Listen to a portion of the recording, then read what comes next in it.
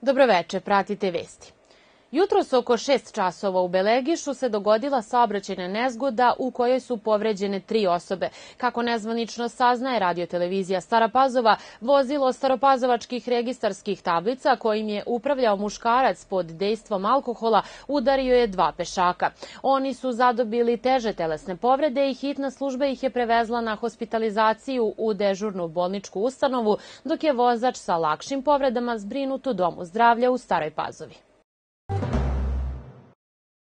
Predsednik Srbije Aleksandar Vučić istakao je danas na sastanku sa izvestiocem Evropskog parlamenta za Srbiju Vladimirom Bilčikom i članom delegacije odbora Evropskog parlamenta za stabilizaciju i pridruživanje Evropskoj uniji Matijažom Nemecom da Srbija ostaje na evropskom putu, ali kao nezavisna i suverena zemlja koja sama donosi odluke koje se tiču njenih državnih i nacionalnih interesa.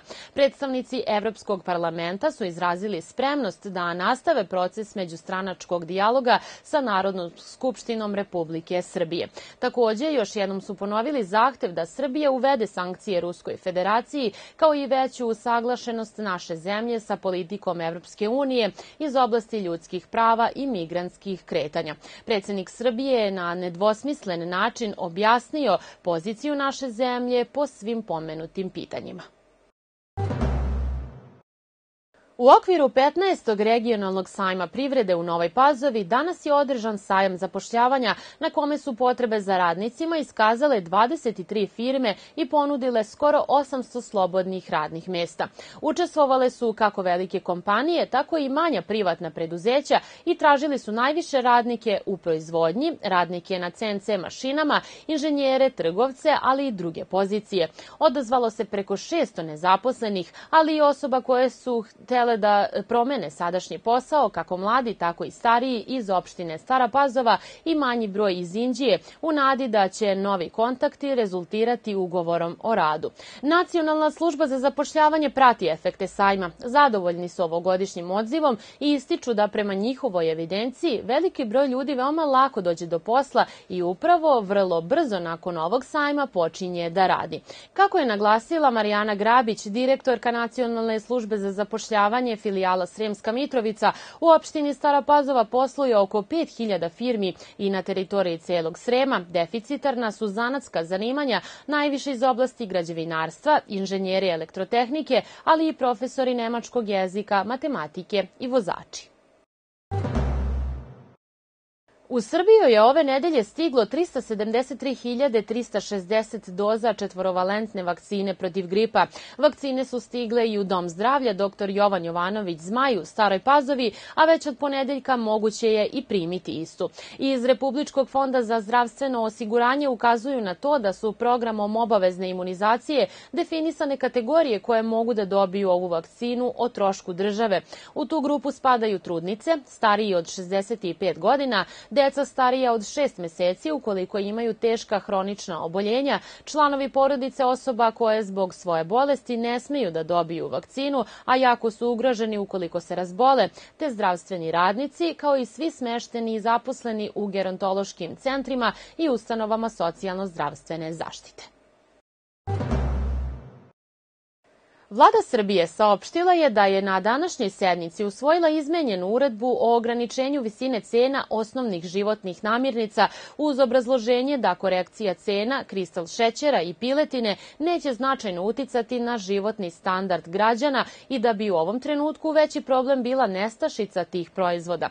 Vlada je navela da je usvojila više izmenjenih uredbi i odluka čije je važenje oročeno na 31. oktobar. Takođe, zbog rasta cene stočne hrane bilo je neophodno korigovati i cenu svežeg pilećeg trupa, naveli su iz vlade. Članovi vlade izmenili su odluku o privremenoj zabrani izvoza mleka i proizvoda od mleka i tako zabranu izvoza tih proizvoda produžili za još 30 dana.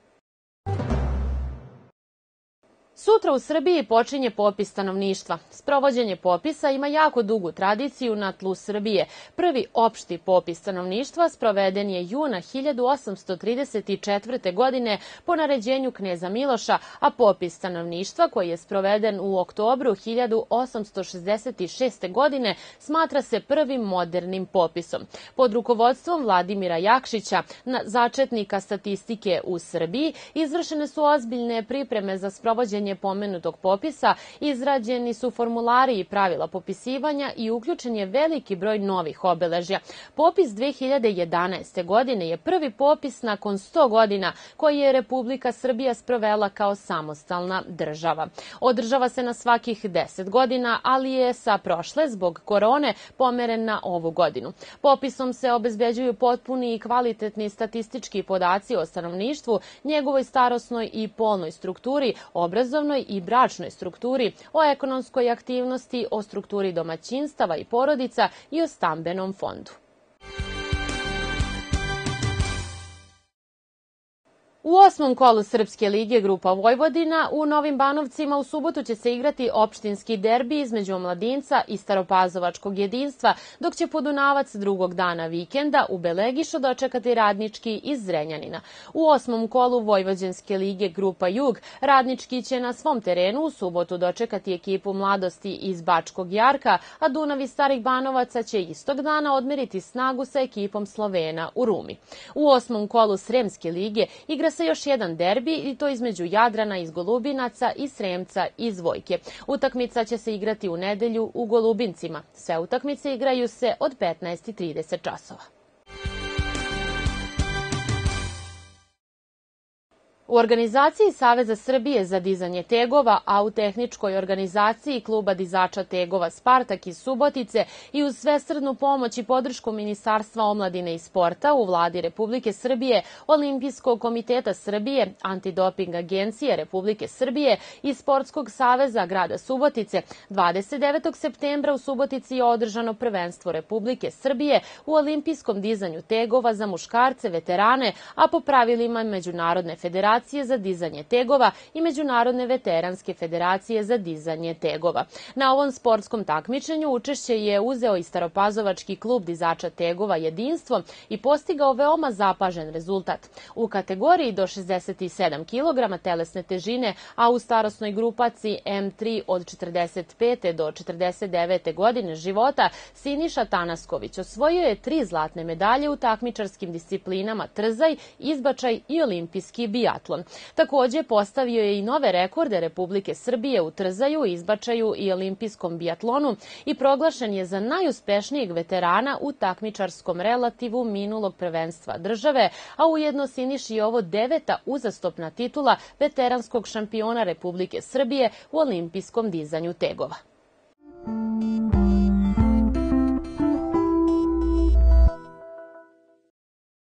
Vreme sutra promenljivo, oblačno i toplo u drugom delu dana, na severu i jugu zemlje mestimično sa kišom i lokalnim pljuskovima sa grmljavinom. Najniža jutarnja temperatura do 17, najviša dnevna do 30 stepeni. Pratili ste vesti radio televizije Stara Pazova. Hvala na pažnji.